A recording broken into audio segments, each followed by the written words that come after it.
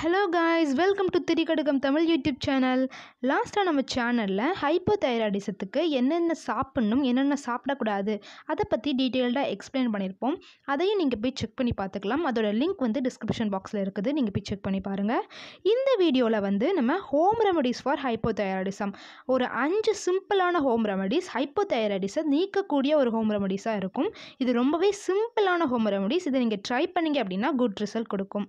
First ரொம்பவே சிம்பிளான home remedies என்னென்னு பார்த்தீங்கன்னா காலையில் எழுந்துட்டு உங்களோட வேலைகள் எல்லாத்தையும் பண்ணிவிட்டு பத்துலேருந்து பதினஞ்சு நிமிஷம் வரைக்கும் காலை வெயிலில் நில்லுங்க. இப்படி காலை வெயிலில் நிற்கிறதுனால அது உங்கள் நோய் எதிர்ப்பு சக்தியை அதிகரிக்குது. அது கூடவே அது உங்கள் தைராய்டு கிளாண்டை ஒழுங்காக ஃபங்க்ஷன் ஆகுறதுல ரொம்பவே சிறப்பான வேலையை செய்யுது. அதனால் காலை வெயிலில் ஒரு பத்துலேருந்து பதினஞ்சு நிமிஷம் வரைக்கும் நில்லுங்க. செகண்ட் பார்த்தீங்கன்னா இஞ்சி.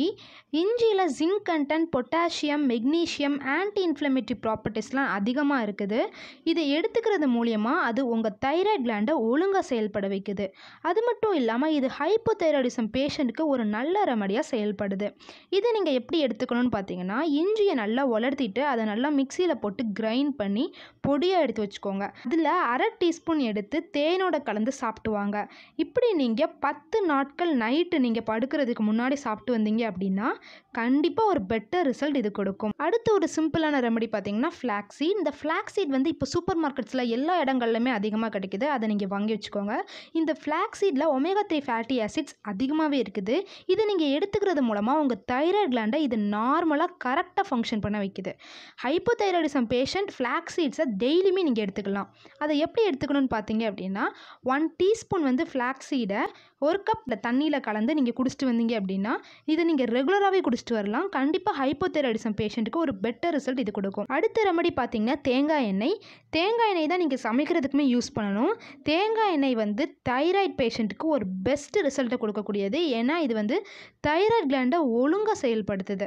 இதை நீங்கள் எப்படி எடுத்துக்கணும் அப்படின்னு பார்த்தீங்க அப்படின்னா நைட்டு தூங்குறதுக்கு முன்னாடி ஒரு டம்ளர் பாலில் ரெண்டு டீஸ்பூன் தூய தேங்காய் எண்ணெய் கலந்துட்டு குடிச்சிட்டு தூங்குங்க. இது ரொம்பவே வந்து பெட்டர் ரிசல்ட்டை கொடுக்கும். ஹைப்போதைராய்டிசம் பேஷண்ட்ஸ்க்கு வந்து கழுத்து பகுதி ஒரு வீக்கமாகவே இருக்கும் எப்போவுமே. அந்த வீக்கத்தை குறைக்கிறதுக்கு இப்போ ஒரு ரெமடி பார்க்கலாம்.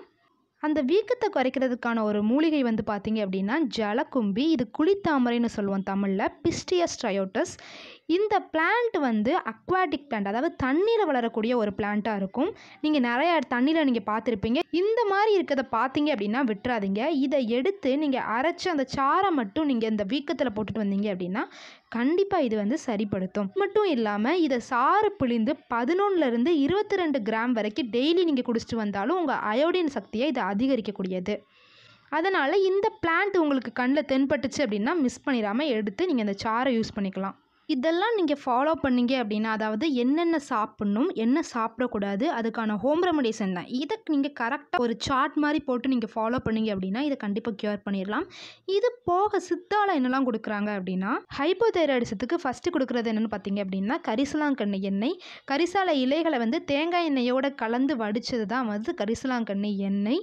இந்த கரிசலாங்கண்ணியை உள்ளே குடிக்க கொடுக்குறாங்க. கரிசலாங்கண்ணிக்கு வேறு என்னென்ன பயன்கள் இருக்குதுன்னு சொல்லிட்டு அதுக்கும் தனியாக நம்ம சேனலில் வீடியோ இருக்குது இருக்குது. அதையும் நீங்கள் செக் பண்ணி பாருங்கள் அடுத்து ஹைப்போதைராய்டிசத்துக்கு கொடுக்குறது என்னென்னு பார்த்தீங்க அப்படின்னா அமுக்குரா சூரணம் சூரணமும் இது ஒரு நல்ல ஒரு ரிசல்ட் கொடுக்கும்.